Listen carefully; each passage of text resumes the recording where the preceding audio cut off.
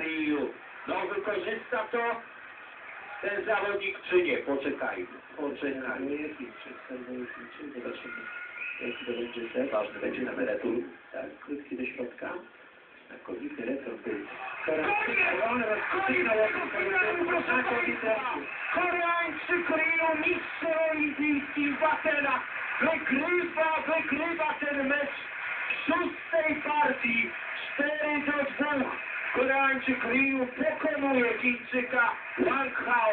To był naprawdę wspaniały finał i wielka radość Koreańczyka. A zatem Chińczycy nie zdobywają, proszę Państwa, kompletu złotych medali. W tej najbardziej prestiżowej grze pojedynczej mężczyzn wygrywa Koreańczyk.